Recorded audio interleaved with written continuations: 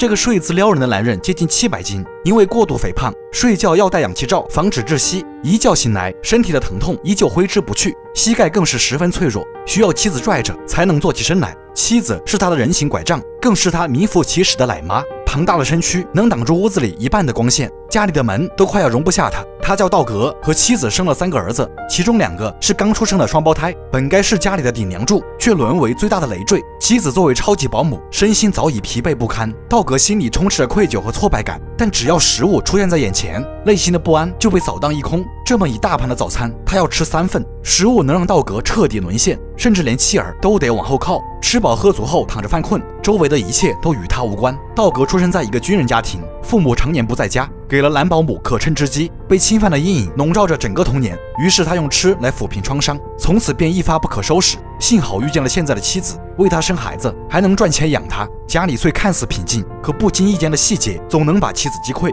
一家人外出游玩，道格因为体型过大，怎么都挤不进座位。妻子看在眼里，他更像一个巨婴，而这个家也更像一个单亲家庭。这对妻子和孩子都不公平。I'd never leave Doug, but Doug is gonna leave our family if he doesn't change. 已经到了生死攸关的时刻，道格是时候做出选择了。